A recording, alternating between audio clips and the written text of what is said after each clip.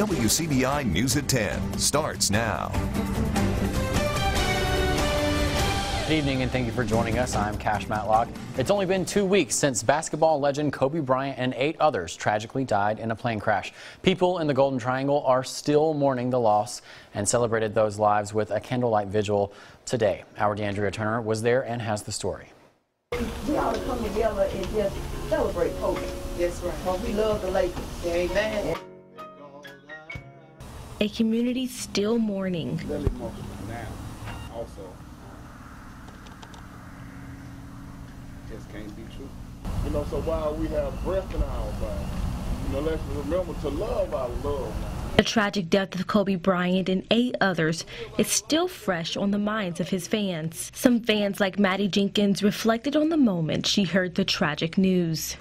When I found that he had passed, tears just started to roll like he was part of my family because he'd been in our lives for so long. LA was too far to travel, so they decided to have their own memorial service here locally. Chester and area, no I baby. want Noxubee County and the surrounding areas to show their support for this family.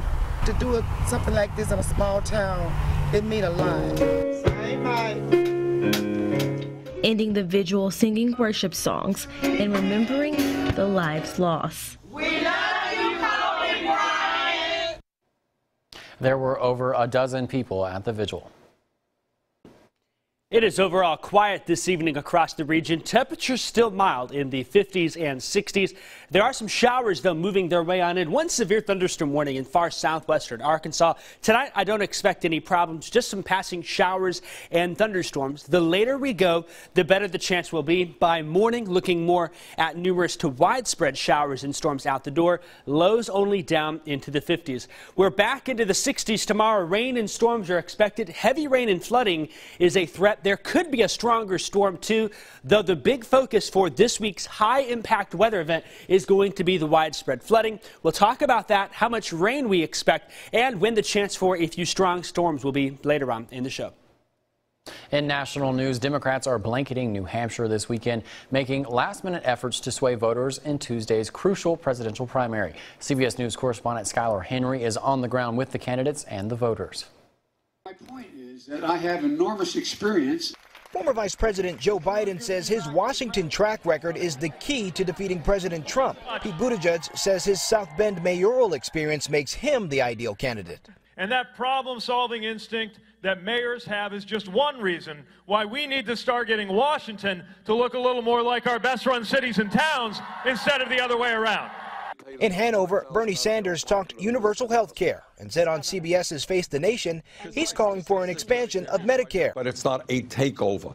People will still go to the same doctor, they'll go to the same hospital. We will substantially lower the cost of prescription drugs. Tuesday's Democratic primary may help narrow the field of candidates as Bernie Sanders tries to hold on to his lead against Pete Buttigieg, who gained ground in the Iowa caucuses. The latest CBS News battleground tracker shows 29% of likely New Hampshire voters say Sanders is their first choice nominee, followed by Buttigieg at 25%, with Elizabeth Warren, Joe Biden, and Amy Klobuchar trailing.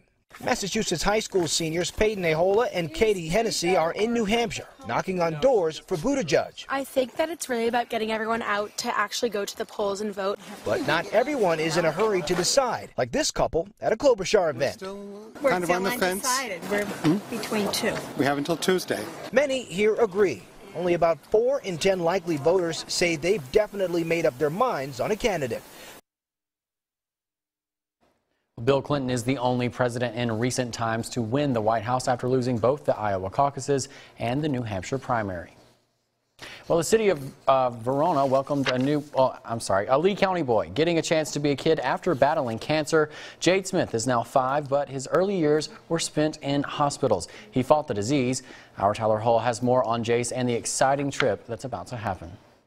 Jace was diagnosed uh, a little over three years ago with uh, cancer. This is Marty Smith, Jace's father. Jace has been living with acute lymphoblastic leukemia. Today, his family and the Make-A-Wish Foundation granted his wish to go to Disney.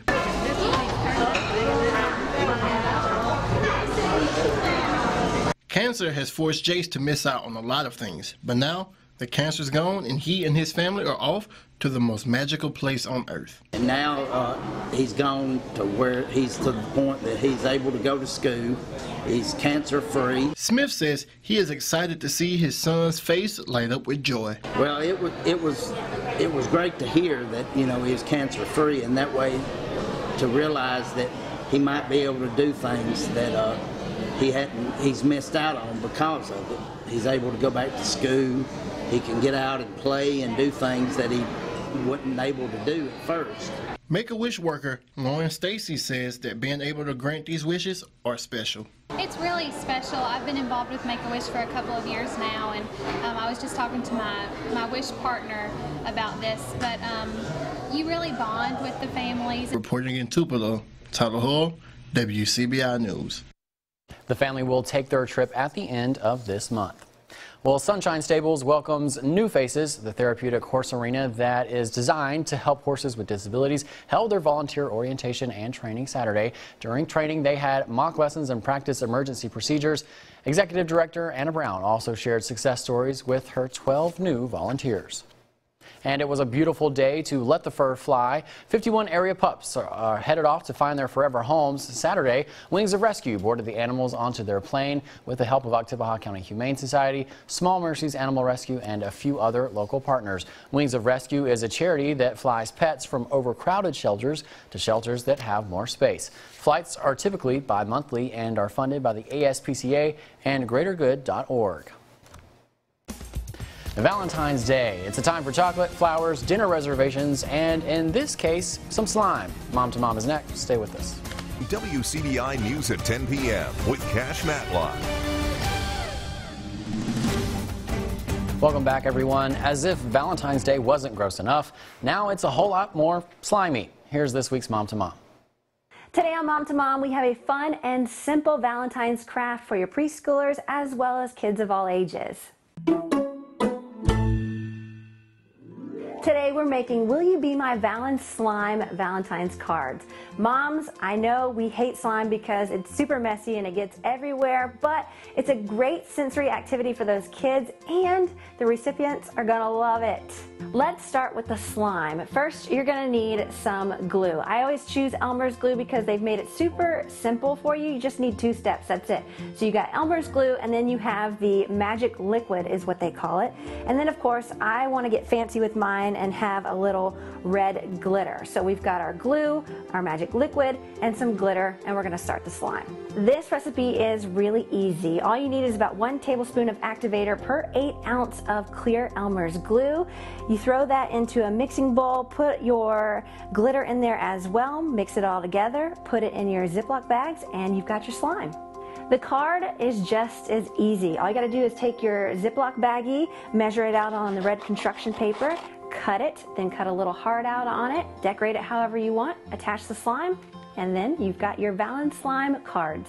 This was fun and easy and definitely better than a plain, simple Valentine's card. As always, moms, we'd love to hear about those wonderful Valentine's ideas. You can post them to our Facebook page, and we'll see you on the next Mom to Mom. Oscars weekend brought a new number one at the box office, starring an Oscar nominee. David Daniel has early weekend estimates for the top five films. Jumanji The Next Level took in $5.5 million for another fifth place finish and a domestic total of 298 million. Dolittle dropped to number four, earning $6.7 million. 1917 and its 10 Oscar nominations took third place on ticket sales of $9 million. Overtown's a no-go. That's why you got people here. Dangerous people. We're dangerous people. After three weekends on top, Bad Boys for Life fell to second, grossing $12 million for a domestic total of 166 million. Silas.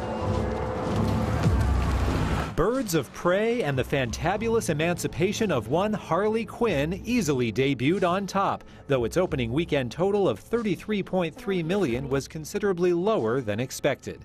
In Hollywood, I'm David Daniel. It is the calm before the storm. Temperatures still mild out there. Most of us are reporting a mostly cloudy sky. Already some showers and storms at Oxford. All of us get them tomorrow. We'll talk about it right after this. WCBI First Alert AccuWeather forecast with meteorologist Jacob Dickey. It is calm and quiet across the region. Temperatures right now sitting in the low 60s and upper 50s. Clouds are moving on in as expected. Winds continue to be a bit breezy. As we check our temperatures around the region again, seeing the upper 50s and lower 60s out there in spots. It is 61 right now in Columbus and in West Point and in Starkville, 59 in Houston, 61 in Tupelo. Where we are sitting now is warmer than our average highs for this time of year. Some showers are already making their appearance here into the region. Scattered showers and a few rumbles of thunder. Nothing significant, no severe threat tonight, but you may wake up to some thunder and some heavy rain before the morning rolls around. Tonight we'll drop down into the middle to upper 50s across the region. Few of us will stay at 60. That includes Winona and Kosciusko. 56 though in West Point and in Aberdeen. 53 in Vernon.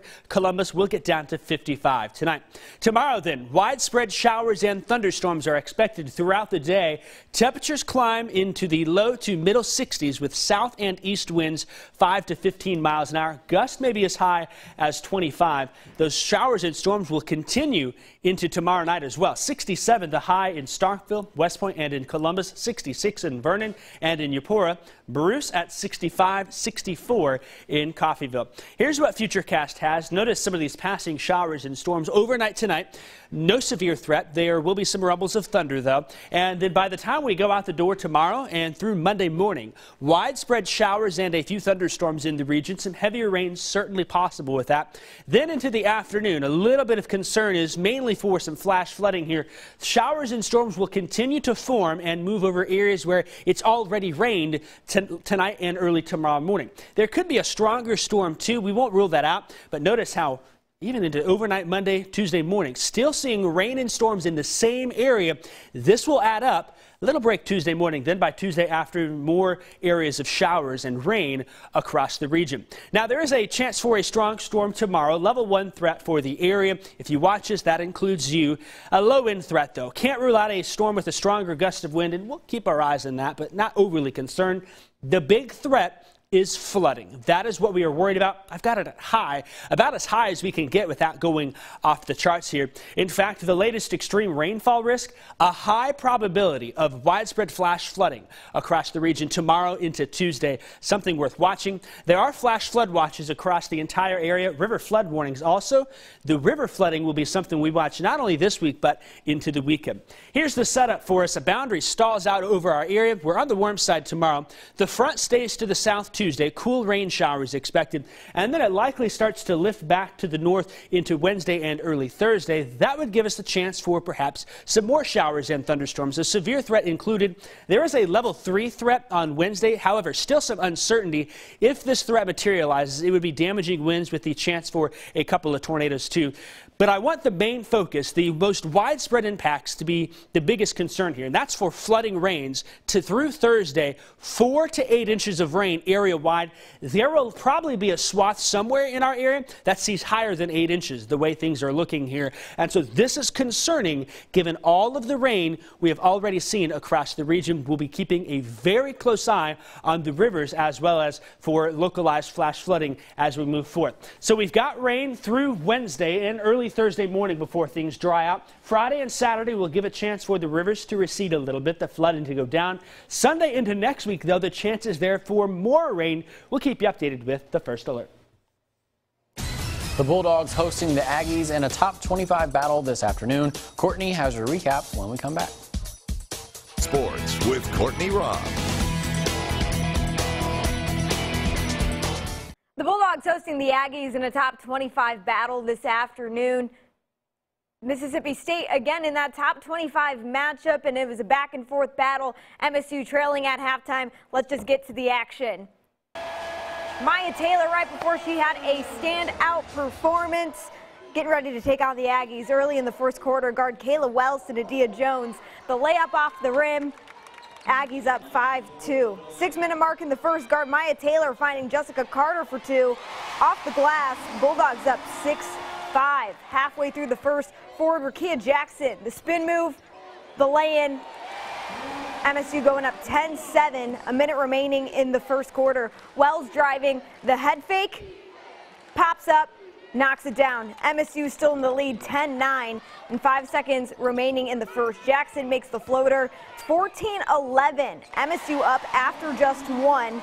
Later in the third quarter, Aggies up by 10. Taylor, the steal, snags it for the spin move and the finish off the glass.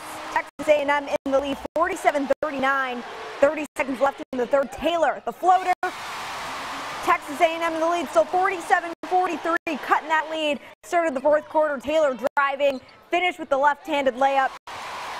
Aggies up 49-45, and a couple plays later, guard Jayla Hemingway gets the lefty lay of her own. MSU trailing now 49-47 and seven and a half in the game. Hemingway misses the trey. Jackson there for the rebound. The putback. MSU in the lead 52-49. Aggies respond. Guard Aaliyah Wilson. The pull-up buckets. MSU in the lead 52-51, a one-point game. Two minutes remaining. Taylor with the dagger. Bounces it in. MSU 64-55. Taylor dominates the second half, finishes with 16 points, six assists. Eighth ranked Mississippi State with the come from behind victory 69-57 against the Aggies. Here's head coach Vic Schaefer after the game. Three sophomores and two freshmen, is that right? I mean, and they're doing it. I mean, I, I, I am just so proud of them. Uh, I just can't tell you. And again, I just, Myah just, I'm just really proud of her. I mean, to see her, she had a presence, y'all. And that's, that's what you're looking for in a point guard. You got to have somebody that's got a presence. And she had it today. Second half, I made that a focus. And so once I started getting layups, my confidence got better. Then once I started getting steals, my confidence just went up and up. And my teammates did a great job of telling me, you know, I got this, things like that. So just the energy from everybody, the bench, the fans, just everything, it all just ties into that one moment, that one play. So I just fed off of it, and I knew my team needed that. So I just did whatever I had to do to get the win. Staying with action on the hardwood, hard times continuing for the Ole Miss women. The Rebels on the road against Vanderbilt, falling to the Commodores 63-47. The loss marks the 10th consecutive matchup for Ole Miss, which also marks their 10th consecutive SEC loss as well this season. Next up, Ole Miss heads to Florida on Thursday. Ole Miss softball capping off the Rebels stint in the NFCA Division I Leadoff Classic. Ole Miss falling to Liberty 4-2 down in Clearwater, Florida. The Rebels unable to win a single matchup in the early season tournament, leaving 0-5, resulting in an 0-5 start on the season. Mississippi State softball also down in Clearwater, Florida for the NFCA Leadoff Classic. The Bulldogs having the opposite result this afternoon. State closing out the tournament with a run-ruled battle to North Carolina State 9-0. MSU leaving the tourney with a 4-0 start to the Bulldogs season. Hey, if you're a football fan, sad that it's over, there's a solution for that, and that is the return of the XFL. Some familiar faces going along with that. Those highlights after the break. Don't call it a comeback. This weekend, the XFL made its official return with some familiar faces. Former Ole Miss quarterback Jordan Ta'amu and former Mississippi State QB Nick Fitzgerald finding themselves back on the gridiron with the St. Louis Battlehawks. Ta'amu leading the Battlehawks offense against the Dallas Renegades in matchup number one of the season. First quarter, three and change to go. Ta'amu Back to pass finds wide receiver Alonzo Russell. 28 yard reception, first down pickup. Hawks unable to capitalize. It's no score all. Second quarter, eight and a half remaining. Send in Nick Fitzgerald, the Mississippi State record holder, on the three yard rush. First down for the Battlehawks.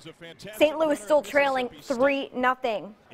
Under two remaining in the half. Ta'amu, connecting with wide receiver L'Damian Washington. Six yards and enough for a first down. Dallas still in the lead 3 0. Not for long, though. Next play before the break, Ta'amu, handing it off to running back Keith Ford. Breaks through the pack. The Texas A&M grad in the end zone. The two-point conversion, no good. St. Louis taking the 6-3 lead. Fourth quarter, Dallas up 9-6, 15 to go Ta'amu, scrambling out of the pocket. Look at the man with his legs moving, picking up 37 yards, a first down along with it, and into the red zone. only to cap off the drive a few minutes later. Ta'amu, throwing into the end zone, finding Russell, a nine-yard score. The Battlehawks take a 12-9 lead and never look back. For the first time ever, the St. Louis Battlehawks had the team's first win. A great first XFL outing for the former Ole Miss Rebel Ta'amu, 20 of 27 for 209 yards, one touchdown, no picks, plus 77 yards on the ground. The Battlehawks get back to it next Sunday at 6 p.m. against the Houston Roughnecks. That's it for sports. We'll have more for you after the break. Stay with us. Today is National Pizza Day. For centuries, pizza has primarily, or, or, was primarily, a dish enjoyed in Italy. And in the early 20th century, the first American-style pizza shops popped up in New York and New Jersey, selling what was called tomato pies. But pizza truly became part of American culture after World War II, as U.S. soldiers stationed in Italy developed quite the taste for it. And Jacob, you were talking about earlier how there's not really uh, any pizza pizza by the slice places around here I'm that we know I'm going to chime in and say it doesn't even matter because we all know the best pizza is Chicago deep dish pizza. I and that knew is a hill gonna that I that. will die on for as long as I live. I literally could sense you wanting to chime in the entire time. I'll tell you what my we could thing. Get. We could use a slice of dry weather around here. Look at this. Rainfall through Tuesday midday. Two to five inches widespread. Some spots seeing more than six inches. And the rain continues into Wednesday and Thursday. Get the latest forecast on your WCBI mobile app. All right, Shaking well- my head. yes. Thank you guys for joining us tonight. We'll see you back here tomorrow.